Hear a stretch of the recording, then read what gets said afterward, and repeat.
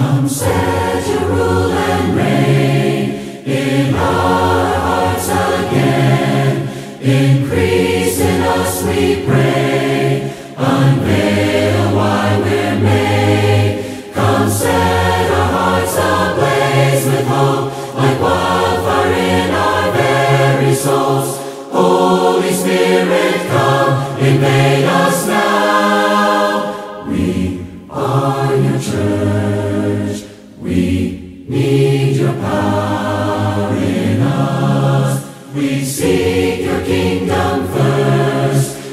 hunger and we thirst, refuse to waste our lives, for you're our joy and prize, to see the captive's hearts released.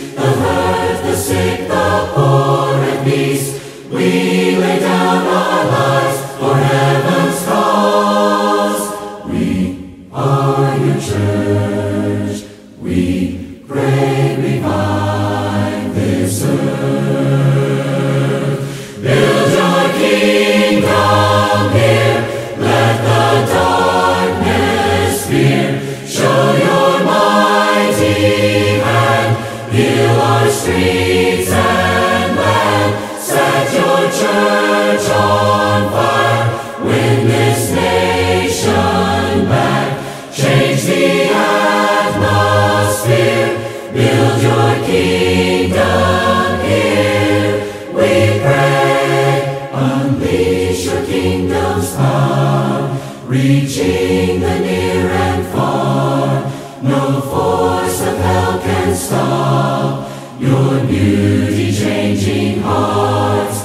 You made us for much more than this. Awake the kingdom seed in us. Fill us with the strength and love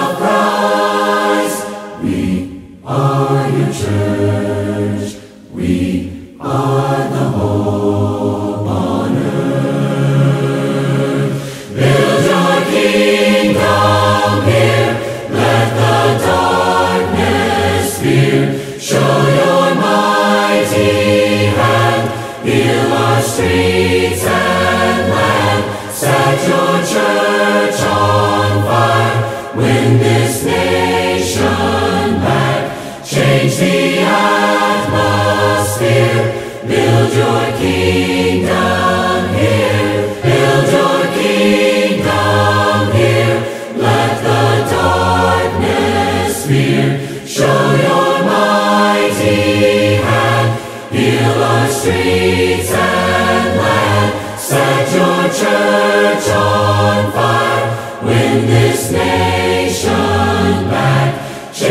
dia.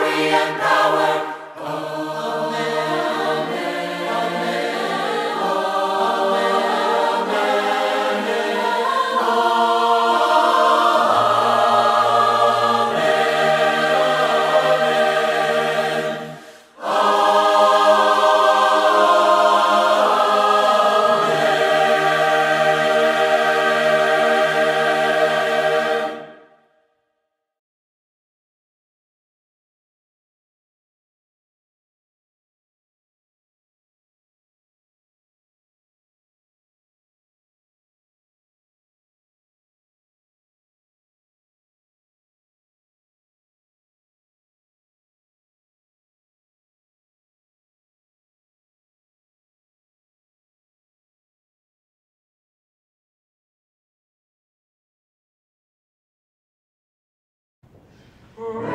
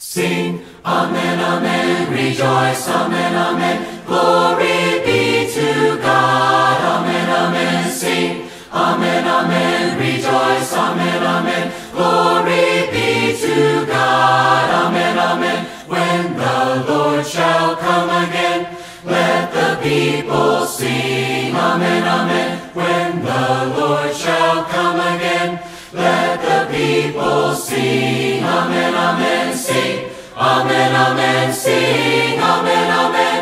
Let the people sing, amen, amen, sing. Amen, amen, sing, amen, amen. Let the people sing, amen, amen, sing. Amen, amen, rejoice, amen, amen. Glory be to God, amen, amen, sing. Amen, amen, rejoice, amen, amen. Glory be to God. When the Lord shall come again, let the people sing, amen, amen. When the Lord shall come again, let the people sing, amen, amen, sing, amen, amen, sing, amen, amen. Let the people sing, amen, amen, sing, amen, amen, sing, amen, amen. Let the people sing, amen, amen. Let the people sing, amen, amen. Let the people sing, amen, amen.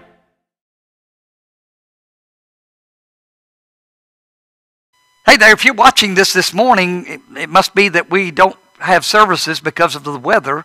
They've been predicting snow.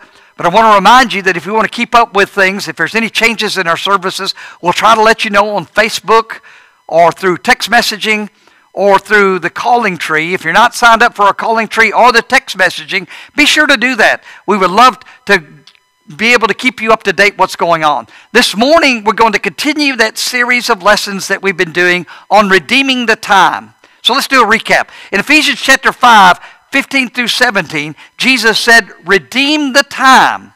Why? Because the days are evil. And then he went on to say, So that we can do the will of the Lord. God intends for us to keep up with his work. And how do we redeem the time? How we've been looking at the life of Jesus. We've been looking at what he's did to help us manage our time better. In other words, use him as an, our, our example. Because we've established, even though in the life of the first century was dramatically different than ours is today, Jesus had to deal with human limitations just as we do. He had people pulling at him in a million different directions. He had to figure out what was the most important. And so he had to deal with that problem. So far, we've explored three timeless time management principles lived out by the life of Jesus. Principle number one, just simply start with the Word. Go to the Bible. Find your answers in the Bible. Number two, let your yes be yes. Know, we talked about those open loops in our lives where we make a commitment and we don't follow through, and how that is damaging to us both on our reputation and also psychologically. Yet your yes be yet let your yes be yes. Principle number three, descend from the kingdom of noise. There's so much noise, so many distractions. This week we're going to look at how nobody in Jerusalem had any more things competing for his attention than Jesus did. And yet Jesus always seemed to be able to discern the essential from the noise.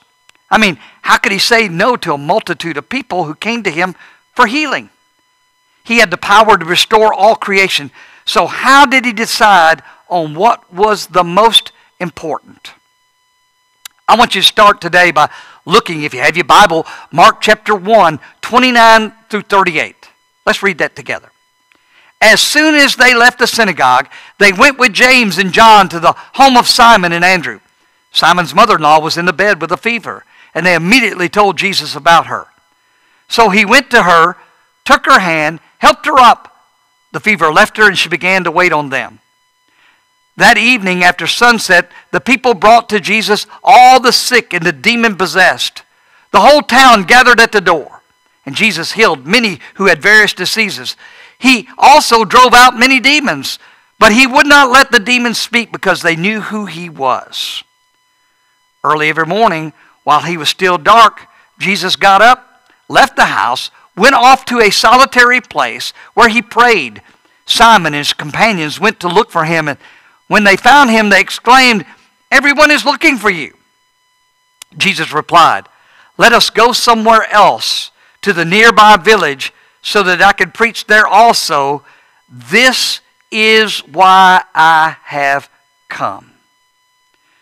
So, to recap, after driving out some evil spirits at the synagogue, Jesus healed Peter's mother in law and a bunch of Peter's neighbors. Understandably, the town residents wanted more of what Jesus was giving. They wanted that the next day. But Jesus said no. Why? Because he had already committed his time to a bigger yes. Listen again to the response of the people's request for more time. Let us go somewhere else to a nearby village so that I can preach there also. This is why I have come. Jesus understood his purpose, and that allowed him to take a long list of things he could do and prioritize it down to the things that he knew he should do to finish the work that his father had sent him to do. John chapter 17 and verse 4. Once he had his work prioritized, Jesus focused relentlessly. So, how do that relate to us today? So many of us get paralyzed with trying to decide where to spend the, the best use of our time. We are inundated with options. Most of them are good things. They're not necessarily bad things, they, they, they could be really good things, but we need to concentrate on the best. I read a quote that said this, really stood out to me. It says, The people on this planet who end up doing nothing are those who never realize they couldn't do everything. Man, that's good. Yet again, Jesus' example leads us to the timeless principle, biblical principle for redeeming our time today. Here's principle number four in our study prioritize your yeses. To redeem our time in the model of our Redeemer, we must decide what matters most and allow those choices to prioritize our commitments. In fact, not all yeses are created equally. Not every to do carries equal weight in doing good works for others. So, how can we, like Jesus, identify the works that matter most and ignore everything else? Well, first, we saw last week we must create space for silent reflection. But solitude isn't everything, it isn't enough. We must also grasp the truth that you and I have the power to choose what matters most rather than allowing it to choose for us. You know, a lot of people would can make those choices for you. A lot of activities can choose that for you. Let's face it, most people operate on the assumption that the opposite is true. Most people are reactive rather than proactive with their time and with their priorities. You know, it seems like prioritizing our to do list doesn't have a lot to do with Jesus. But when reading the Gospels, it's obvious that he was crystal clear on which works were most important. And because of that, he was able to prioritize the limited time, the precious time that he had here on this earth. And why did Jesus have to prioritize his, his time? I mean, he's God, right? He is the God became flesh and dwelt among us, he, he could heal everyone in one full sweep if he wanted to. He laid down his divine prerogatives so that he could be that perfect sacrifice. But that leads us to our fifth time management principle in our series accept your unipresence. To redeem our time as the model of our Redeemer, we, we must accept our unipresence and focus on one important thing at a time. When omnipresent God became flesh, Jesus embraced the human limitations of being unipresent. In other words, when Jesus took on flesh and dwelt among us, he no longer could be omnipresent all over at one time. So he had to limit himself. Whereas God is omnipresent everywhere all the time, just like us, Jesus couldn't be in two places at the same time because he had laid down that divine prerogative. He was unipresent. Jesus had to deal with many of the same challenges we face today as we seek to redeem our time, including frequent dis- distractions that competed for his attention. Now, we talked about a few things last week, but here's, here's just a reminder of a couple of things that, that came up in Jesus' life. A man literally threw himself at Jesus' feet as he was walking down the road in Mark chapter 10 and verse 17. A woman touched his cloak, distracting Jesus with the knowledge that he had healed her in Mark chapter 5, 27 through 30. One time, a man literally dropped through the roof over Jesus' head as Jesus was preaching. Can you imagine that? Luke chapter 5, 17 through 20. There are times Jesus welcomed these distractions, but other times Jesus made significant effort to eliminate distractions and cultivate depth. One of my favorite examples comes in the book of Matthew, Matthew chapter 12, 46 through 50. Here's what it says. While Jesus was still talking to the crowd, his mother and brother stood outside wanting to speak to him. Someone told him, Your mother and brothers are standing outside wanting to speak to you. He replied to him, Who is my mother? And who is my brothers? Pointing to his disciples, he said, Here is my mother and my brothers. For whoso, whoever does the will of my Father in heaven is my brother and sister and mother. Now, given the main point of the passage in Jesus' word about who is and who isn't his family, it's not easy. It, it can be easy to, to miss the, the fascinating side story in this, the B story in this. Jesus is working talking to the crowd, doing the work that the Father had sent him to do, namely preaching the gospel of the kingdom of God and, and what was to come. All of a sudden, his family shows up. They're, they're waiting outside. They want to see him. Jesus ignores them. When Jesus told his family was waiting, he didn't say, you know, well, that's it, folks. I guess it's time to go. My family's out there. You know how God is God first, family second, work third. Uh, so listen, I'll see you guys later. No. He continued teaching. In that moment, he was called to work and he remained fully focused on the present with the task that was at hand. Conversely, when, we, when, when he was with his family and friends, though, the opposite was true. When he was with his family and friends, he was fully focused on them in those times. In Mark chapter 9 is a good example of that. Jesus was coming off a hard day at work with his disciples. Mark 9, 31 through 30 says, They left that place and passed through Galilee. Jesus did not want anyone to know where he were because he was teaching his disciples. Once his work was done here, Jesus was intentional about being fully focused on his 12 closest friends and getting them ready for the task at hand. So, to summarize where we've been so far in this series, we have five timeless time management principles that Jesus modeled for us. Let's look at them. Principle number one start with the Word of God. Number two, let your yes be yes. Number three, dissent from the kingdom of noise. Principle number four, prioritize your yeses. And principle number five, accept your unipresence. Now, I'm not going to pretend that this is easy. It's hard to prioritize. It's hard to focus on what's important when we have so many things coming at us from so many different directions. And that's why I want to again emphasize Jesus offers us peace before we can do anything else. We don't have to do any of these practices to be completely and perfectly loved by God. And you need to understand that.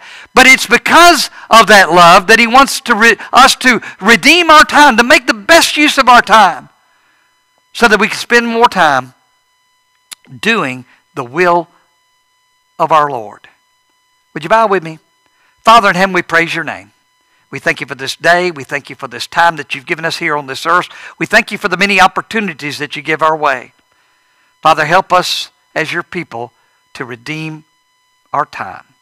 For it is so precious to finish the work that you've called us to do. For it is in Christ's name we do pray. And amen. When peace like a river attendeth my way,